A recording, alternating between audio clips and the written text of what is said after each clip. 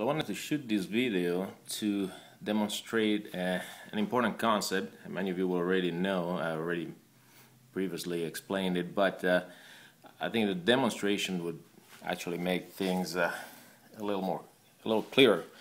Uh, and that it is that uh, microslurry is acceptable to uh, join foam pieces because it is actually stronger than a foam itself.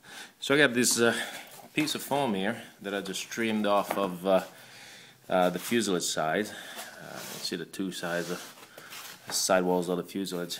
And I just happen to have a, a, piece right here in the middle that is joined with micro slurry. I did that uh, five hours ago, so it's fairly dry, probably not 100% cured.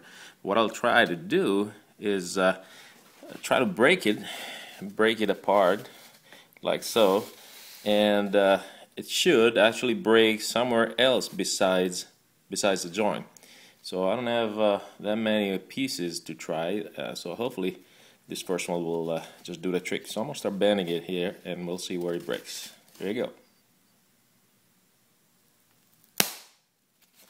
And it looks very close to the foam piece.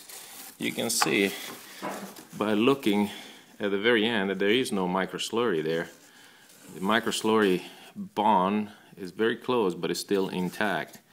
You can see it's just uh, just purely foam. Let's see if I can focus uh, on the foam itself. Hang in there.